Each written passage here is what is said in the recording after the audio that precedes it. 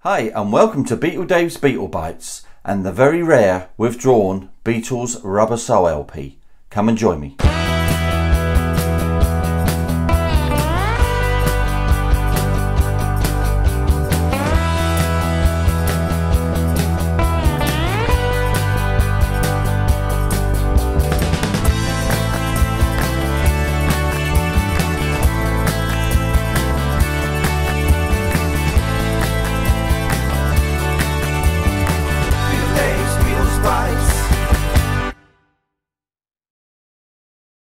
So, hello and welcome to the first episode of Beatle Dave's Beatle Bites, a more individual look at one off items or even smaller lots of items which I have in my collection. Well, the subject for today's video is the rarely seen withdrawn Beatles Rubber Soul LP on Apple.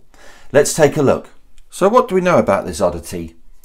Well, generally, not a lot of information is known, but what we do know is that EMI issued this LP in a very small batch in 1999 mistakenly on the Apple label. Not a proper Granny Smith, but for some strange reason, a white faced one. The only similar one to this is the John Lennon Plastic Ono Band type one. However, it's not known if it should have been a proper green label and the colours just failed when it was printed. The other fact we know is Rubber Soul should never have been on the Apple label, as no Beatles LP prior to 1968 ever was. So more likely for this reason, it was immediately withdrawn by EMI and the amount of copies around are unknown, but clearly there isn't many around of this LP. Let's take a look. So firstly the cover, which is non-laminated. Still has a nice shine, generally. And there's the Parlophone label, bottom right. And the spine.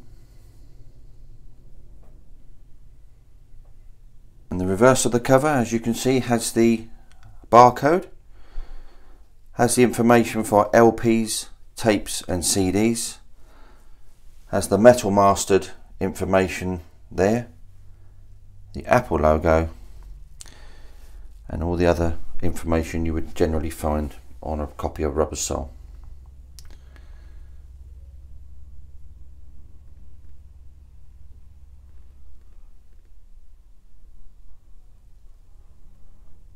So here is then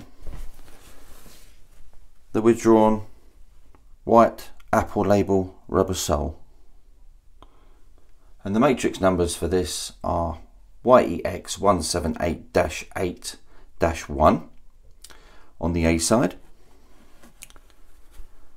And on the B side, we have YEX179-8C-1-1 extremely rare mispressed Rubber Soul.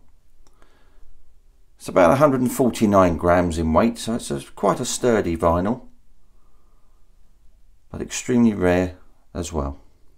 You're probably looking at about 200 to 250 pounds if you find one of these. But as mentioned before, there just isn't a known amount of how many albums actually got out. but a very rare record nevertheless.